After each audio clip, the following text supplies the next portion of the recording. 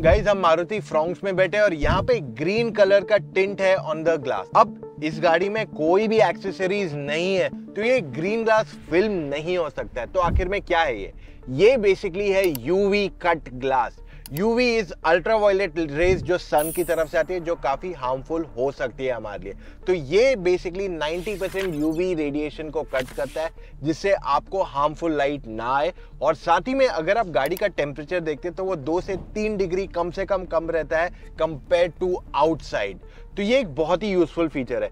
कुछ कुछ ऑटोमेकर्स ही ये देते हैं। आप मुझे बताइए कौन कौन सी गाड़ियों में आपने नोटिस किया ये ग्रीन कलर का टिंट और अगर आप ज़्यादा महँगी गाड़ी ले सकते हैं लग्जरी कार्स तो उसमें कुछ कुछ गाड़ियाँ आपको देती है अकॉस्टिक ग्लास भी, जिसके बेनिफिट्स आप चाहो तो मैं एक अलग वीडियो में बना सकता हूँ। अगर आप देखना चाहते हो तो मुझे कमेंट्स में बताइए और ऐसे वीडियोस देखते रहना है तो फॉलो कीजिए मोटर ऑक्टेन को।